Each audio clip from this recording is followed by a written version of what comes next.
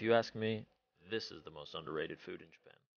This is tsukemen, which is similar to ramen, but the noodles are served on the side and the soup is much more concentrated.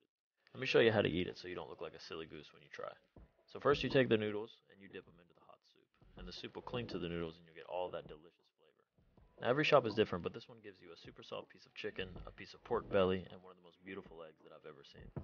And that's all there is to it. You dip the noodles in there, swirl it around, and give it a taste. Since the soup is so thick, it's going to cling to pretty much anything you throw in there, so enjoy. Make sure you don't drink the soup though, because it's not really made for